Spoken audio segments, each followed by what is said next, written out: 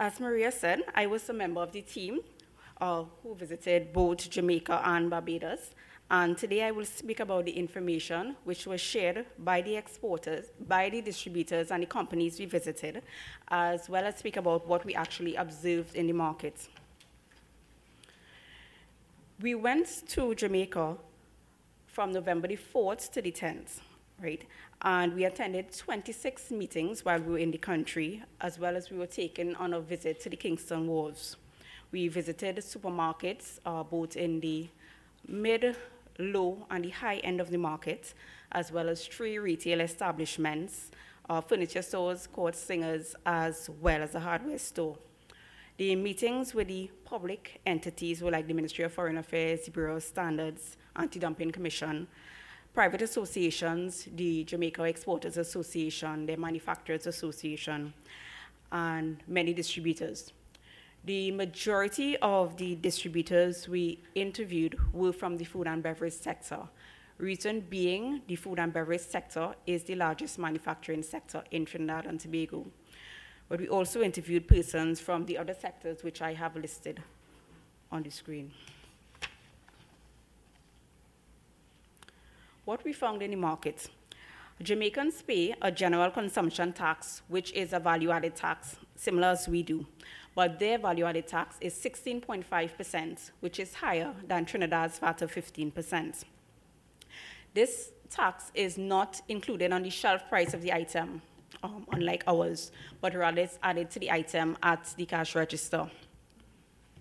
In terms of their standards, the Jamaica Bureau of Standards is the agency responsible for monitoring all institutions, including food producers, to ensure that they produce quality food products. Now, Jamaica was, as you may or may not know, Jamaica was the first island in the Caribbean to be inspected by the U.S. Food and Drug Administration, which inspects agencies and companies using some of the principles of HACCP.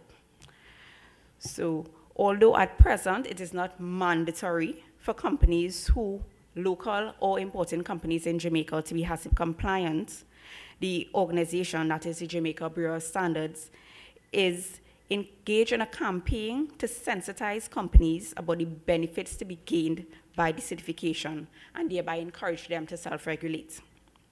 Right now, the Bureau is finalizing the Jamaican standard for the production of processed food using the principles of HACCP.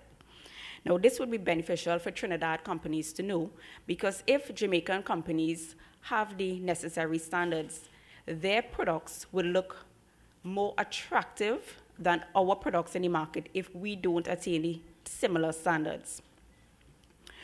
Throughout the meetings, uh, everyone spoke about the fact that labor is cheap in Jamaica, but energy costs, especially in comparison to Trinidad's energy costs, are very high. Right? Some people said it was hampering their manufacturing uh, companies. In fact, one company said it was more expensive to produce in Jamaica and as a result, after uh, manufacturing for in excess of 48 years, they relocated their operations to Trinidad. Fortunately for them, they had a sister company in Trinidad. So they closed up shop in Jamaica, relocated to Trinidad, and they now do weekly shipments from Trinidad to Jamaica of the product, and it's actually more cost effective for them to do that than to manufacture in their own country.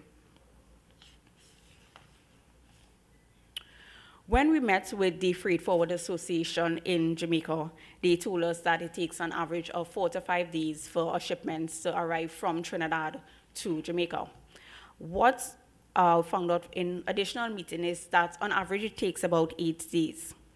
Now, in general, it is relatively easy to ship goods, uh, both via sea and air freight in the Jamaican market. But sea freights, of course, are viewed uh, usually as the most cost-effective method of shipping. Vessels transporting products manufactured in Trinidad are shipped to the Kingston Container Terminal, which is one of the region's leading container transshipment ports, which, and it consists of three terminals, the North, South, and West Terminal. Jamaica actually has several uh, ports which receive containerized shipments, but a number of them do both containerized as well as cruise ship passengers. In terms of maritime shipping lines operating the Trinidad-Jamaica route, there are several. we got an average of the cost of shipping a 20 foot container and the cost of shipping a 40 foot container. And the average price that we got was one US dollars, $1,030 for a 20 foot container, and approximately $2,277 for a 40 foot container. When we met Grace Kennedy, they told us that uh, consumers are looking for healthier foods and beverages. But in our economic reality, price is an issue. Consumers look for specials. The Jamaica Chamber of Commerce said people will look at what is affordable, shop to suit their pockets. Therefore, coming from those meetings, everyone said price was an issue. This table on the screen is actually an excerpt which is published monthly by the Consumer Affairs Commission, and it is published in their daily newspapers. What it shows is a comparison of, for all the major supermarkets, shops and grocers in each town in each of the 14 parishes. The list shows the basic food commodities as well as household cleaners, soaps, etc., by brand, size, and size of the item. So when consumers can see the price of each item, they can do a comparison before they actually shop. So when they go to shop, they can make an informed decision as to where to purchase the items. Now, this information is available online as well. When we visited Boss Furniture Company, they told us that Trinidadian companies could get into this market in a joint venture if they have the right price, quality, and products. T. Geddes Grant said, the small corner-side convenience stores are benefiting more as when the consumer's products have been exhausted, they tend to go to these stores and buy single items until they can do their month-end shopping, which is no different from Trinidad and Tobago. Because some of us, if when things run out in the middle of the month, we may go to a corner side store and save the month-end shopping to buy all the major items in the supermarket. When we went to the supermarket, though, what we noticed is that many of the supermarkets offer discounts for bulk purchase. Unlike uh, Trinidad, where we normally have banded items, sometimes when the item is going to expire. What we saw, what I observed, is that many of the items were not banded together, but on the shelf it showed you what is the cost saving if you would purchase one item as opposed to two or three, thereby encouraging the customers to purchase more than one of the product.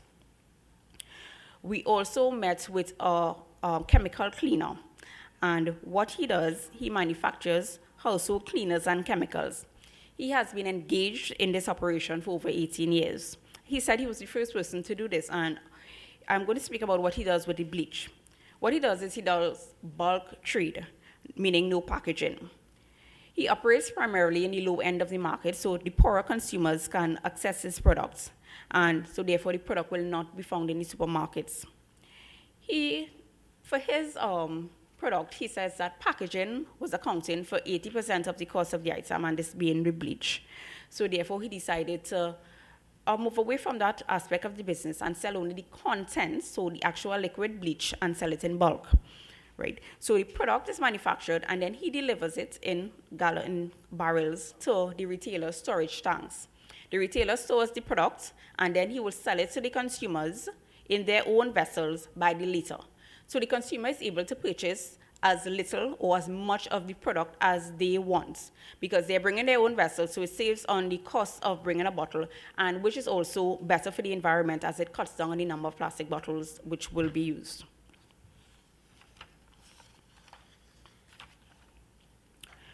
Now, this our biggest sign here shows the Eat Jamaica campaign by the Ministry of Agriculture and Fisheries. So there is a push to buy Jamaica, brand Jamaica. Throughout all the interviews, whether it was public or private sector, it was said that there's a perception that Trinidad and Tobago products have little or no problems entering and dominating the Jamaican market. When we visited, there was a whole host of Trinidad and Tobago products on the shelves, many billboards showcasing what we have to offer as well. Right? However, on the reverse, they felt that the trade relationship with Jamaica and Trinidad is unfair in that Jamaican problems have Jamaican products have difficulties pen, penetrating this market. So this is one of the things that came, they came out with the Buy Jamaican campaign. There is the view that this campaign is making the consumer more sensitive to where the product was manufactured. However, overall, persons said that it is having little or no effect on the average consumer, as many do not take the time to find out where the, where the product is manufactured, so they will buy the product regardless. One person also said the fact remains that the country does not produce everything they consume, so they would have to source things from extra country. But there also is a growing resentment in the country for Trinidad and Tobago products. In fact, one supermarket chain, they refused to meet with the exporTT team because they said it would be counterproductive to what they are trying to do right now. And what they were trying to do basically is to sell out the Trinidad and Tobago products on their, self, on their shelves and not take any more. So there is some resentment in the country. Uh, thank you very much.